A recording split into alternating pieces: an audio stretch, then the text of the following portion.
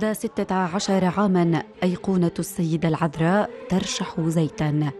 إشارة وحدث شهده مزار السيدة الصوفانية في باب توما بدمشق في منطقة الصوفانية في منزل ميرنا التي ظهر الزيت في يديها وهي تصلي عام 1982 وندر منزلها ليصبح مزارا يتوافد عليه المؤمنون من كل المناطق.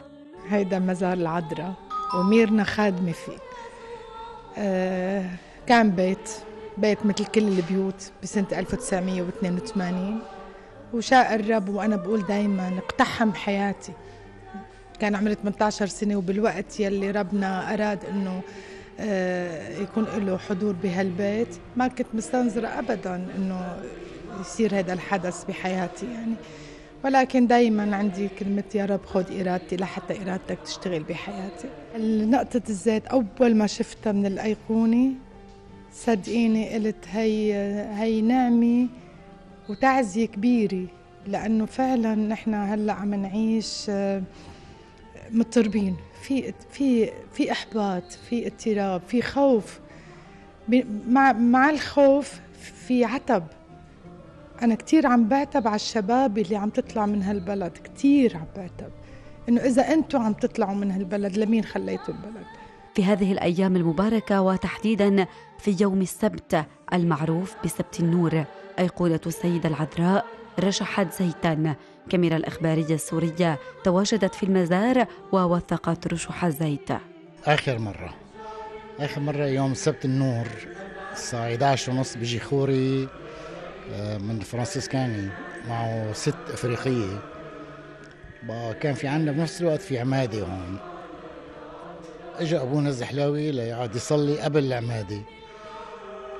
قبل ما يجي أبونا الزحلاوي قاعد عم بشرح له أنا على الجرن المعمودية للخوري لأنه كان منظره كثير حلو الجرن وهذا قدمه واحد أرمني شغل إيده. خل بياخذ لقطة هلأ عليه بشوفه عم بشرح له عليه وعم بشرح له على الباب باب الأيقونة لما سكرت له إياه هيك قال لي أوه هذا عيد البشارة. مرسومه على الباب على المزار. أنا فتحته عم قال لي ليك في زيت عم ينزل. ما كنا منتبهين أنا وميرنا ما كانت كانت عم تنظف الجرن وراحت على المطبخ. واذا لقينا الجرن نصه زيت والزيت عم يكت بعده أنا ما تحملت نفسي. حالة من الروحانية والسكون تعم المزار وتبعث الطمأنينة لكل من دخله ورشوح الزيت في هذا التوقيت هو علامة وإشارة اعتبرها أهل المزار مرتبطة بخلاص سوريا من آلامها. كل عام وأنتم بخير المسيح قام حقا قام ونحن شهود على ذلك. وهو أعطانا النعمة كمان أنه نكون شهود على عملية الخلق اللي عم بيعملها. من 34 سنة بلشت الأيقونة تعطي زيت ووقفت بال 2001 وربنا حب بعد 16 سنة إنه يتكرم علينا بهالنعمة. لحتى يعطينا علامة تعزية وعلامة بشرى خلاص إذا الله راد إنه سوريا قائمة وسوريا مهما كان الوجع كبير والألم كبير بس رح تقوم مثل ما قام سيدنا يسوع المسيح. أعطتنا العذراء علامة آه، يمكن نستاهلها أو ما بنستاهلها بهالوقت هذا اللي نحن عم نتألم فيه.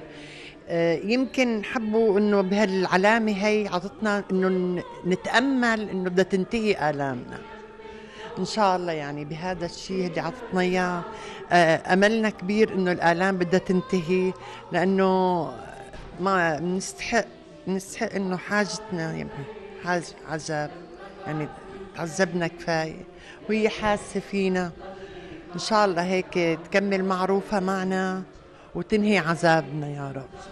في مزار السيدة الصوفانية يتم التعميد وتقام القداديس ويتوافد الزوار لأخذ البركة والدعاء لسوريا الحبيبة بالخلاصية والنصر.